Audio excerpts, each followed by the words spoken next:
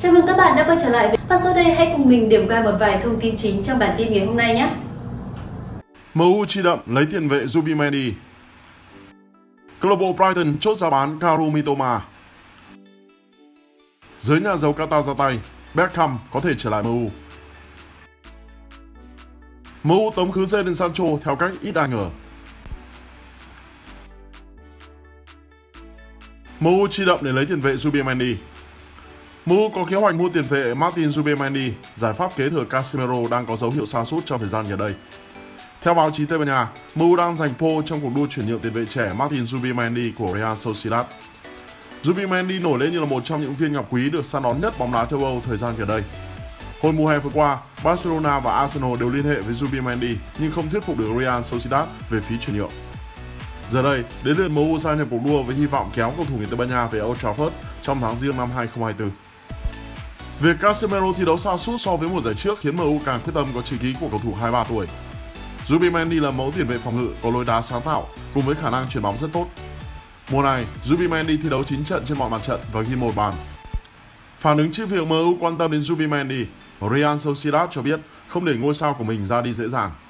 Đội bóng Sibat lặp lại phản ứng với Barcelona trong kỳ chuyển nhượng mùa hè. Đối tác nào muốn có Zubimendi phải kích hoạt điều khoản phá vỡ hợp đồng. Theo Marca, hợp đồng của Zubimendi với Real Sociedad có thời hạn đến năm 2027.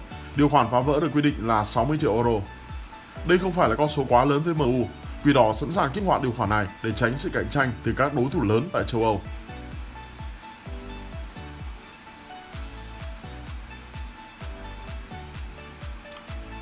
Câu lạc bộ Brighton chốt giá bán Karumi Toma. Manchester United và Chelsea sẽ phải chi ra một số tiền không nhỏ nếu muốn sở hữu Karumi Toma từ câu lạc bộ Brighton. Theo tiết lộ từ Football Insider, dù có kế hoạch gia hạn hợp đồng với Kaoru Mitoma, Brighton vẫn sẵn sàng chia tay tuyển thủ Nhật Bản nếu thu về 70 triệu bảng. Nguồn tin trên cho biết Brighton sẽ xem xét những lời đề nghị dành cho ngôi sao Kaoru Mitoma ngay cả khi cậu ấy đạt bút ký vào bản hợp đồng mới. Chim màu biển rất sẵn lòng để các cầu thủ rời đi nếu mức định giá của họ được các câu lạc bộ quan tâm đáp ứng. Điển hình như trường hợp của Moises Caicedo, Alexis Mark Alister và Ben White trong những năm gần đây. Brighton không sẵn sàng đưa điều khoản giải phóng hợp đồng vào thỏa thuận mới của Mitoma.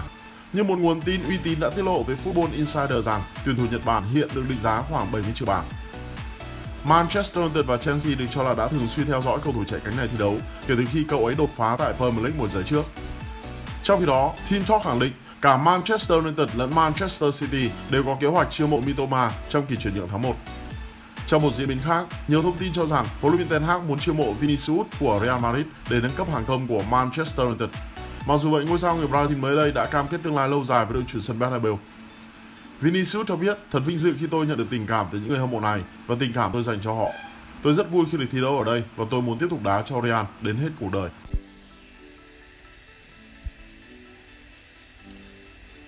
Giới nhà giàu Qatar ra tay, David Beckham có thể trở lại MU. David Beckham được Sheikh Jassim đề nghị giữ một vai trò tại Manchester United trong chiến thuật tiếp quản tại đội chủ sân Old Trafford. Đó là dòng tít trong tờ viết Daily Star hôm ngày 10 tháng 10. David Beckham được cho là đã được tỷ phú người Qatar Sheikh Jassim đề nghị làm đại sứ quốc tế tại Manchester United nếu ông mua thành công đội chủ sân Old Trafford. Daily Star viết, Tỷ phú người Qatar Sheikh Jassim và tỷ phú giàu nhất nước Anh Sir Jim Ratcliffe là hai ứng cử viên lớn nhất tiếp quản MU từ gia đình nhà Glazer. Nhưng đã gần một năm trôi qua kể từ khi nhà Glazer tuyên bố khám phá các lựa chọn tiềm năng, MU vẫn chưa đổi chủ. Sheikh Jassim đã đưa ra lời đề nghị hơn 5 tỷ bảng Anh mua lại 100% MU. Trong khi đó, ban đầu, Sir Jim Ratcliffe muốn mua 69% cổ phần MU, sau đó ông thay đổi chiến lược muốn mua 25% cổ phần đội chủ sân Old Trafford. Điều đó cho phép nhà Glazer vẫn là chủ sở hữu quỷ đỏ thành Manchester. Tuy nhiên, 6 anh em nhà Glazer vẫn chưa thống nhất chốt thương vụ bán MU. Và lý do nhà Glazer làm như vậy được cho là vì họ đang cố gắng chờ đợi một lời đề nghị phù hợp với mức định giá 10 tỷ bảng Anh của họ. Tuy nhiên, bất chấp việc quá trình bán MU vẫn diễn ra kéo dài không hồi kết, tỷ phú người Qatar vẫn để mắt đến việc mua bán Manchester United và họ đã được cho là sẽ sử dụng David Beckham như một chiến thuật giúp phía Qatar đạt được mục tiêu mua MU. Bây giờ theo Talksport, David Beckham được cho là đã liên hệ với Qatari và Sheikh Jassim Phía Qatar yêu cầu huyền thoại của MU Beckham lên tiếng ủng hộ họ tiếp quản câu lạc bộ. Ngoài ra Beckham cũng được phía Qatar đề nghị đảm nhận vai trò đại sứ quốc tế của MU nếu nỗ lực mua quỷ đỏ của họ thành công. Mới cuối tuần trước, Beckham đã đến xem giải đua xe F1 Qatar Grand Prix. David Beckham, 48 tuổi, giữ vai trò đại sứ cho Qatar tại World Cup 2022 ở quốc gia này. Đó là công việc khiến Beckham chịu nhiều chỉ trích vì các tổ chức nhân quyền phản đối Beckham làm việc trong một quốc gia không công nhận cộng đồng người đồng tính. Tuy nhiên, trong bộ phim tài liệu về David Beckham dài 4 tập vừa được Netflix phát hành từ ngày 6 tháng 10, vai trò đại sứ của Beckham cho Qatar tại World Cup 2022 không được đề cập tới. Thay vào đó, bộ phim tập trung vào cuộc đời và sự nghiệp của Beckham, điều dường như tất cả đã biết từng tận từ trước. Đạo diễn Fisher Steven của bộ phim nổi tiếng Succession chia sẻ Nó, bộ phim về David Beckham, có cảm giác như là lỗi thời. Thành thật mà nói, nếu tôi có một tập phim khác, chúng ta có thể đã tham gia vào vấn đề đó, vai trò đại sứ của Beckham tại Qatar. Nhưng nó có vẻ như không liên quan lắm. Khi bạn nói về 48 năm của một chàng trai, đó chỉ là một khoảnh khắc. David Beckham hiện là đồng chủ sở hữu câu lạc bộ Inter Miami của Mỹ, nơi siêu sao Lionel Messi đang đầu quân. Bản thân Beck cũng ám chỉ rằng anh muốn thấy người Qatar tiếp quản câu lạc bộ Manchester United từ nhà Glazer. Chúng tôi, Manchester United muốn trở lại đỉnh cao và tôi tin rằng tôi biết những người phù hợp để làm điều đó. Chúng ta sẽ chờ xem. David Beckham chia sẻ tại giải Qatar Grand Prix khi được truyền thông hỏi ai là người anh mong muốn sẽ tiếp quản đội chủ sân Old Trafford.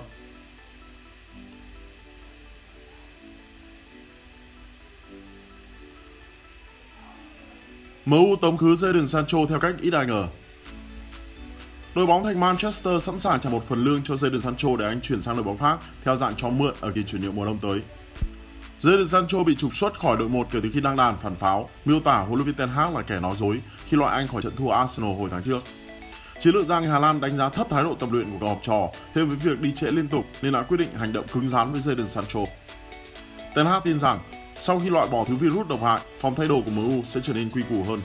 Tinh thần chiến đấu của Quỷ Đỏ cũng vừa được thể hiện rõ nét trong chiến thắng kinh tính 2-1 trước Brentford mới đây. Nếu Jadon Sancho đưa ra lời xin lỗi, mọi thứ có thể được bỏ qua. Tuy nhiên bản thân anh vẫn cho là mình đúng và mối quan hệ giữa hai thầy trò dường như không thể cứu vãn. MU sẽ thấm khứ Jadon Sancho vào đầu năm tới và họ sẵn sàng trợ cấp một phần lương 300.000 bảng một tuần của anh nếu đạt được thỏa thuận cho mượn từ một câu lạc bộ khác. Juventus cùng Borussia Dortmund đều bày tỏ sự quan tâm đến Jadon Sancho Mặc dù vậy, họ chỉ xem xét mượn chứ không chấp nhận chi số tiền chuyển nhượng 60 triệu bảng như phía MU yêu cầu. Thời gian bị cách ly khỏi đội hình chính và không được thi đấu sẽ khiến giá trị chuyển nhượng Jadon Sancho suy giảm mạnh. Hai năm trước, MU từng phải bỏ 73 triệu bảng để rước Jadon Sancho về từ Dortmund. Được đặt nhiều kỳ vọng, nhưng cầu thủ người Anh lại mang đến nỗi thất vọng lớn lao